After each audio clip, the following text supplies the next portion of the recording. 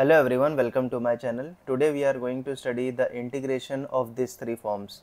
So if you come across any of these three forms, you have to follow these steps. Okay, so let's just go through the form. So the first form is 1 upon a plus b sine square x dx. Okay, in the denominator and in the numerator it should be 1. The next form is 1 upon a plus b cos square x and the last one is 1 upon a sine square x plus b cos square x plus c. So if you just notice in the denominator in the first term we have only sine square, in the second term we have only cos square and in the third term we have both sine square and cos square. So in these kinds of question you have to follow some steps and you will be able to solve this kind of integration very easily. Okay. So the first step is you have to divide the numerator and denominator by cos square or sine square okay so if your question is having sine square or cos square you can choose any which uh, any one of them and you can divide co uh, by cos square or sine square. Okay. Now if you have divided your question by cos square x you will come across the sec square. Now if you come across the sec square you have to replace it with 1 plus tan square. Okay. And if you have divided it by sine square you will come across the cosec square x that you can replace it by 1 plus cot square x in the denominator only. Okay. After doing this in the denominator you will come across tan as well as the cot. So if your denominator contains the tan you have to substitute it with t. And if your denominator contains cot you can substitute with t. Okay. Any one it will be there. Okay. Now after doing this substitution, this will reduce to the form 1 upon a t square plus bt plus c dt. Now, if you just remember, this is nothing but a quadratic form of the integral. So, here we will do two kind of question which we will be able to understand this concept very easily. Okay. So, now the first question here is, is i is equal to integration 1 upon 4 plus 3 cos square x dx. So here what we'll be doing here dividing numerator and denominator by uh, so I will be dividing here by cos square. Okay you can divide by sine square also. So I will be equal to we are dividing numerator by cos square. So that will become 1 upon cos square in the numerator upon 4 upon cos square plus 3 cos square x upon cos square x. Okay if you can do it directly you can write it down. Now 1 upon cos square will give you sec square in the uh, numerator. Here in the denominator 4 keep it aside. 1 upon cos square is again sec square x plus this cos square and cos square would get cancelled and you that will be give you 3 now if you just remember the third step was you have to replace sec square by 1 plus tan square but only in the denominator okay?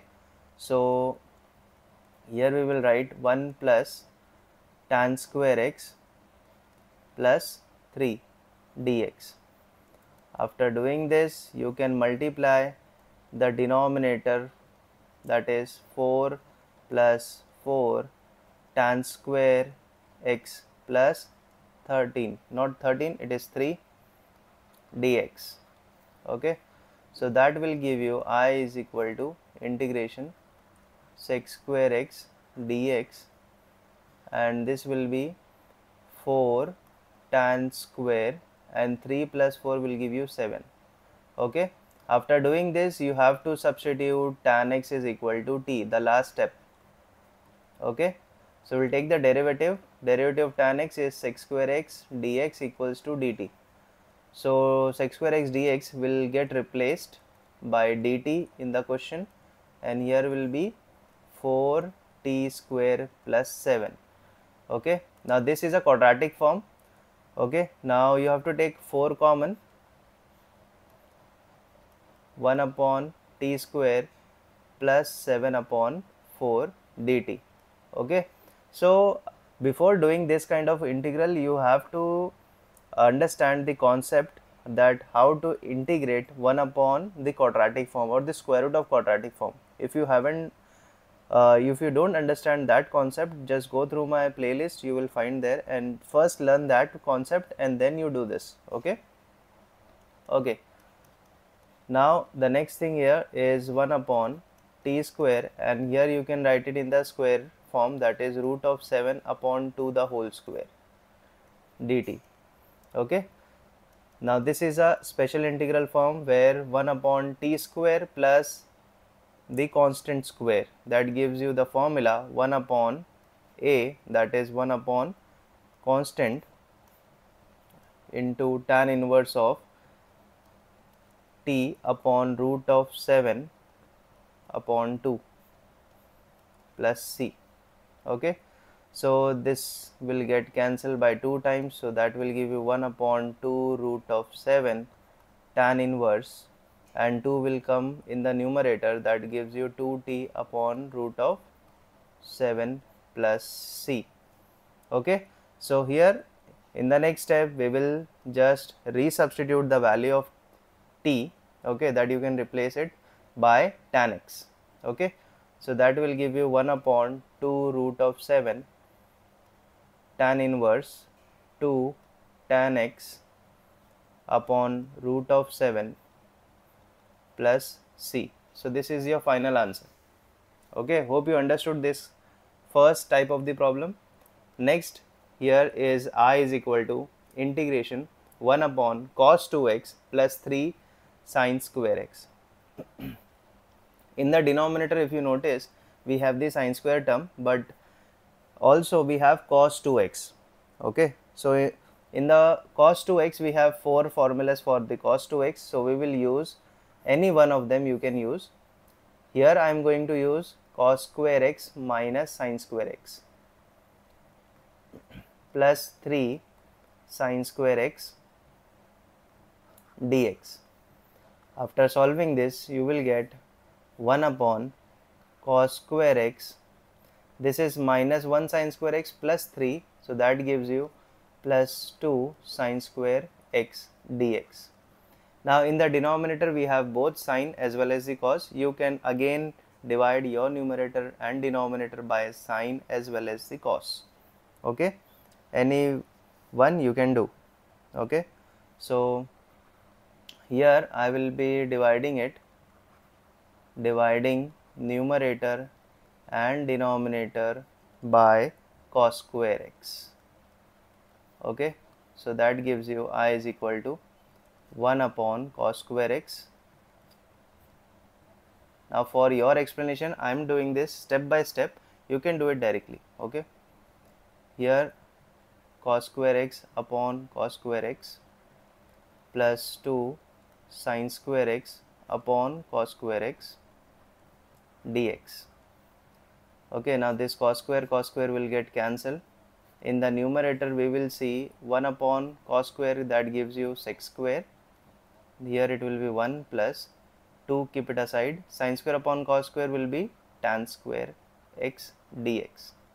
Okay so the first two steps has been done. Now we will replace the sec square by tan square but only in the denominator. Okay so here if you see we have uh, in the denominator we have only tan square so we don't need to replace it because we don't see sec in the denominator okay?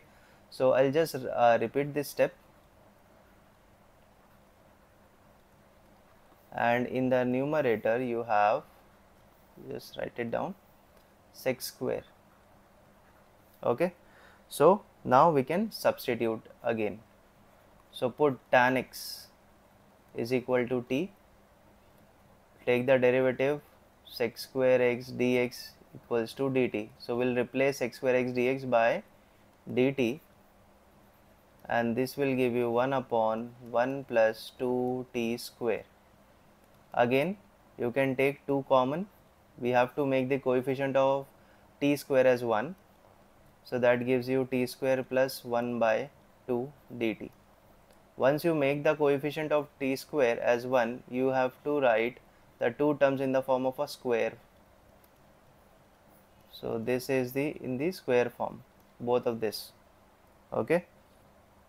which is 1 upon t square plus 1 by root 2 square we can apply the formula special integral formula which is 1 upon a a means your constant okay tan inverse your t upon again the constant plus c.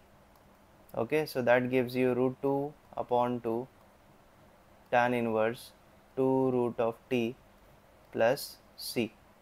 Okay then after doing this you can further simplify it. That gives you root 2 upon 2 so overall root 2 upon 2 gives you 1 by root 2 and you left with tan inverse of root of 2t we can just substitute it resubstitute it. That is tan x. And this is your final answer of the second one. Okay? Hope you understood these two problems which is based on this three forms. Okay? Well this three forms is very similar and very easy to solve it once you remember all these steps. Also you should know how to solve the integral 1 upon quadratic form or and with the square root of the quadratic form okay? Because this is essential for doing this kind of integral okay? Hope you understood this. Thanks for watching. Please subscribe to my channel and leave a comment if you like this video. Thank you so much